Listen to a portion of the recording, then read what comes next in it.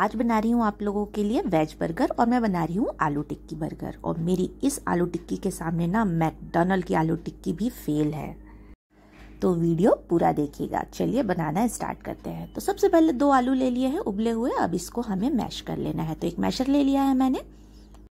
बस इस बात का ध्यान रखिएगा कि आलू बहुत गर्म नहीं होना चाहिए। आधा चम्मच डालेंगे इसमें नमक। नमक आप स्वाद अनुसार डाल सकते हैं। आधा चम्मच मैं यहाँ पे काली मिर्च का पाउडर डाल रही हूँ और आधा चम्मच भुने हुए जीरे का पाउडर है और ये दोनों पाउडर बिल्कुल फ्रेश कूटा है मैंने। और आधा चम्मच ही कुटी हुई लहसुन ले रही हूँ मैं यहाँ पे। और ये मैं ले रही हूँ एक चम्मच मैगी मसाला है मैजिक और बहुत इंपॉर्टेंट मसाला है ये। इसे बिल्कुल भी स्किप मत करिएगा।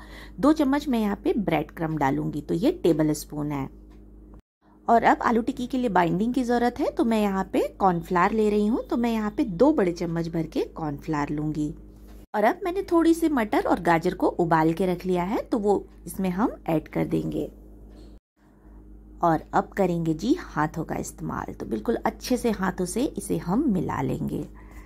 तो फ्रेंड्स ये टिक्की और ये जो बर्गर है ना, बहुत आसानी से, बहुत कम समय में घर में बन जाता है। तो आप कोशिश करिएगा कि बच्चों को, अपने परिवार को बिल्कुल फ्रेश बना के खाना खिलाएँ।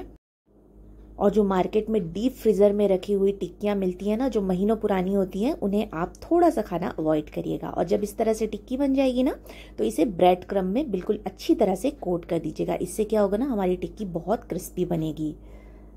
और बस जब बनते जाएगी तो आप इसे एक अलग प्लेट में निकाल लीजिएगा और इसी तरह से आप दूसरी टिक्कियाँ भी बना लीजिएगा।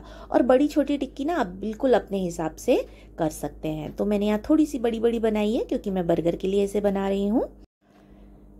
तो चलिए, मैंने दो आलुओं से ना चार बड़ी बड़ी टिक्की बना के तैयार कर ली है। अब हमें ना इसे फ्रीज़र में रख देना है ठंडा होने के लिए लगभग आधे घंटे के लिए। फ्रीज़र में रखने से ना ये बिल्कुल क्रिस्पी फ्राई होंगी और आप चाहें तो ना दो से तीन दिन इसे स्टोर करके भी रख सकते हैं फ्रीज़र में।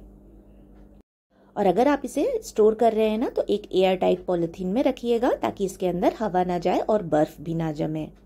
तेल को ना अच्छी तरह से गर्म कर लीजिएगा और बिल्कुल गर्मा गर्म ऑयल में ना बिल्कुल हाथ बचा के आप टिक्कियों को इसमें डाल दीजिएगा और जब अच्छा सा कलर आ जाएगा ना तो इसे बाहर निकाल लीजिएगा। और देखिए, कितनी सुंदर लग रही हैं ये टिक्कियाँ। आप इसे ऐसे भी खा सकते हैं, अगर आप इसका बर्गर नहीं बना रहे हैं तो बहुत ही लाजवाब बनती है। और बस ये कितनी क्रंची बनी है, इसकी आवाज़ सुनिए आप। चलिए जी, क्रंची क्रंची हमारी टिक्की तो बन के तैयार है, बिना देर किए बना लेते हैं बर्गर। तो बर्गर ब्रेड को मैंने तवे पे सेक लिया है, और एक तरफ़ मैं इसमें लगा लूँगी वेज मायोनीज, और एक तरफ़ लगा लूँगी सॉस। अगर लेटस के पत्ते हैं तो ठीक है, नहीं तो आप पत्ता गोभी का पत्ता भी लगा सकते हैं। और क्रंची क्रंची हमारी टिक्की को रख लीजिए, ऊपर ग्रिल्ड प्याज रखिए जिसे मैंने तवे पे हल्का सा सेक लिया है। टमाटर ले लीजिए, ऊपर रख लीजिए एक चीज़ स्लाइस और ऊपर रख लीजिए टॉप को। और लीजिए, हमारा आलू टिक्की बर्गर बिल्कुल बन के तैयार हो गया है। बहुत ही यम्मी लगता है, फ्रेंड्स, आप इसे एक बार घर में ज़रूर ट्राई करिएगा। वीडियो पसंद आया हो तो मेरे वीडियो को लाइक करके, मेरे चैनल को सब्सक्राइब करके और हाँ बेल आइकन को दबाना तो बिल्कुल मत भूलिएगा। चलिए फ्रेंड्स, आप इसे एंजॉय करिए। मैं मिलूँगी आपको अपनी अगली डिश के साथ। तब तक के लिए आप अपना बहुत ख्याल रखिएगा।